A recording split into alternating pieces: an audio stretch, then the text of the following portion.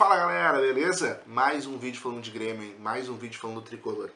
Dessa vez falando de uma dúvida que vem surgindo, que provavelmente está na cabeça do Roger, está na cabeça dos torcedores e muita gente está perguntando aonde entra Bitelo nesse time? O Bitelo talvez seja a maior revelação do Grêmio no ano. De meninos da base que subiram, chegaram, tomaram conta da posição. É o cara que está tendo sequência.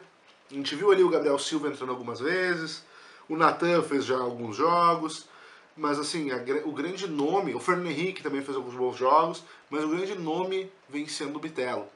E o Bitelo, uh, por mais que não vinha tão bem quanto já teve nas últimas partidas, ele ainda era titular incontestável.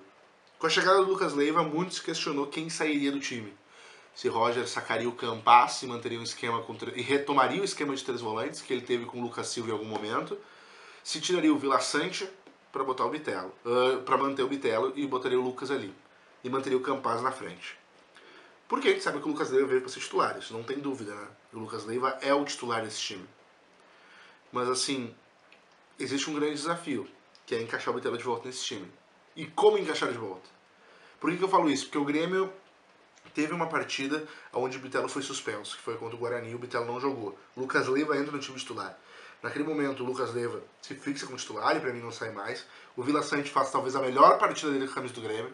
O Roger, no fim da, no fim da, da partida da coletiva, disse que o Vila Sante talvez viva o melhor momento dele na carreira, não no Grêmio, na carreira.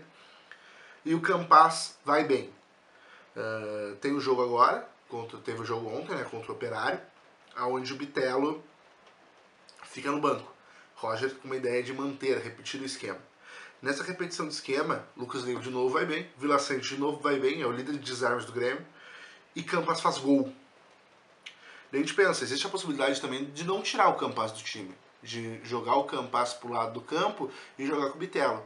Daí tiraria um dos dois pontas, o Gabriel Teixeira, que eu me nego a chamar de Biel, o Gabriel Teixeira que uh, fez gol, então também não sai a princípio, fez boa partida, é um cara da confiança do Roger, foi um pedido do Roger quando chegou.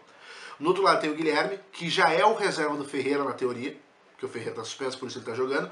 E o Guilherme deu uma assistência na última partida, nessa semana, nesse, nesse jogo, participou de duas assistências de gol, participa do gol do Campas, então também foi bem no jogo. O Diego Souza ninguém mexe, artilheiro do time do campeonato. Então aonde colocar o Bitelo? Não dá para tirar nenhum desses caras. E eu, com meu histórico de treinador, Pois é, eu vou meter essa do histórico de treinador.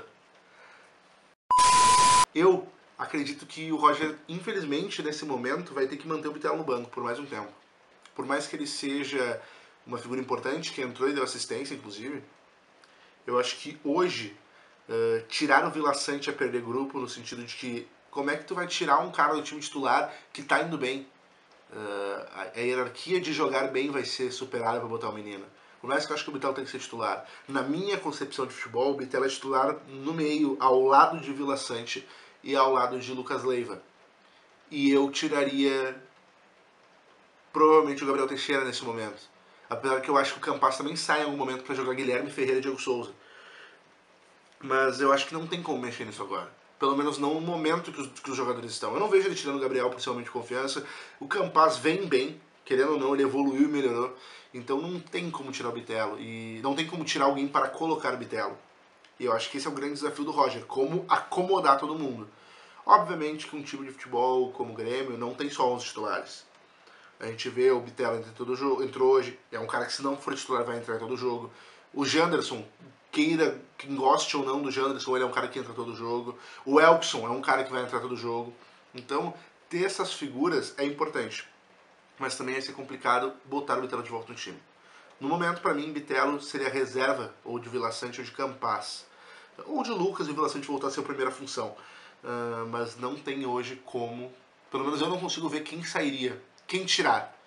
Baseado não na minha concepção, isso é na concepção de Roger, de escalação e de valorização do desempenho dos jogadores. E tu, quem tu acha que sai pro Bitelo entrar ou o Bitelo tem que esperar no banco?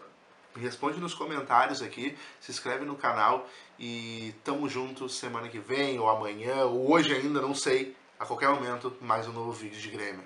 Valeu, até mais.